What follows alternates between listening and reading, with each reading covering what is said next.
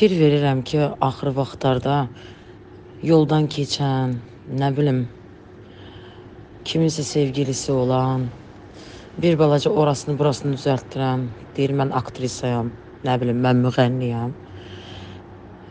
Başlayırlar ki, ay mən elə, mən belə. Heç sənətdən xəbərləri də yoxdur.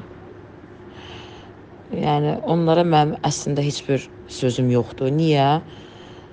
Çünki hər şey göz qabağındadır. Onları hələ ki heç kim hansısa bir obrazı ilə tanımır. Hamı deyir ki, "Ay filan kəs, nə bilim filan kəsin sevgilisi, saçı belə olan, dodağı elə olan." Amma fakt bu gün mənim adımın Arzu Abdulova olduğunu çoxsu bilmir. Hamısı məni proyektlərdə olan obrazlarımdan tanıyırlar. Bu da mənim plusumdur, mənim müsbət tərəfimdir sənətimdə ki, e, mən özümü aktrisa olaraq təsdiqləmişəm və yaratdığım hər bir obraz yadda qalıb.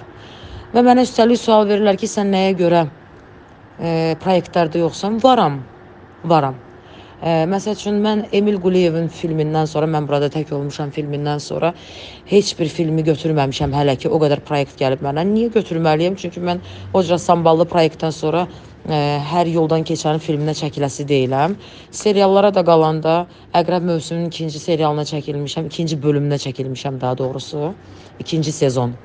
Yəni mən o boyda ə, proyektdən sonra, o boyda layihədən sonra hər yoldan keçən layihəyə də ə, qatılası bir adam deyiləm. Şükür Allaha işim, gücüm öz yerində, qazancım öz yerimdə. Əgər gələrsə, samballı bir iş gələrsə, çəkilərəm. Gəlməzsə də valla oturmuşam da özüm üçün. İşim belli, sənətim belli.